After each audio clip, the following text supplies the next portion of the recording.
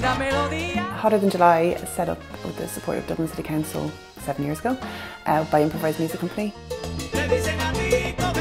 It was originally set up as a world music festival, which it still is, but uh, has evolved a lot to be very much a kind of a community festival in many ways, celebrating the diversity and the cultural smorgasbord that is Dublin City now.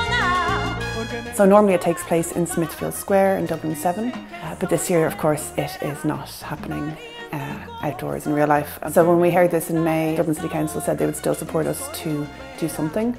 After three months of having no live performances, uh, we really wanted to have as many live sessions with musicians as possible, just to get musicians back out and working and to just get the pleasure of, of live music again. So we put together a programme and now we've had two days of recording in the space between and today we're in Camden Studios in Camden Street in Dublin.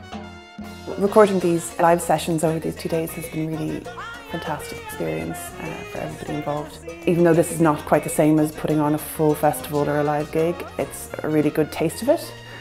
Um, I don't know if you can hear now, but they're just doing the playback of today's recording, which is Cuban salsa.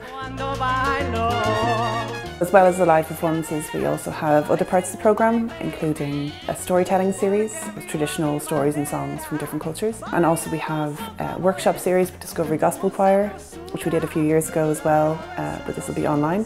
We have some instrument making workshops with Ed Devan, who's an instrument maker and composer who lives in Donegal. Um, and these are for all ages from five to adult really.